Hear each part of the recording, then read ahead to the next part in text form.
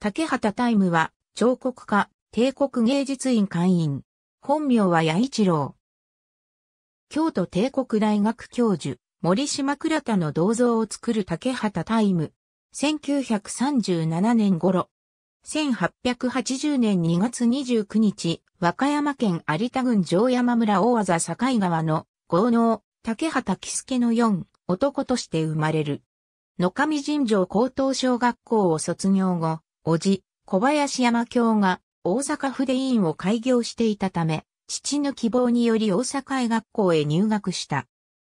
しかし、医師になることを嫌い、叔父の友人、木島桜谷の紹介で、京都市立美術工芸学校に転校。1907年には、東京美術学校彫刻科へ編入学して、白井雄山に指示し、1911年に同校を卒業した。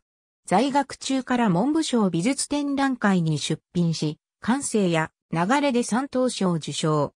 1919年、帝国美術展覧会審査員に任命され、下村寛山、川端隆子、安田隆門をはじめとする同郷の芸術家と南紀美術会を組織した。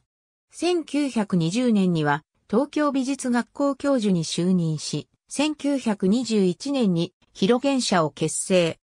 1927年、新設された帝国美術院会員となり、1937年には依頼を受けて伊藤博文銅像を制作し、国会議事堂中央広間に設置された。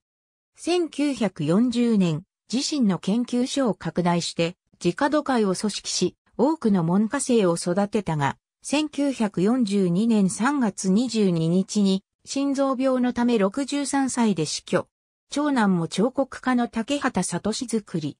孫は彫刻家、日本大学芸術学部美術学科教授の竹畑昨夜、国立国際美術館長、京都市立芸術大学長の竹畑哲。ありがとうございます。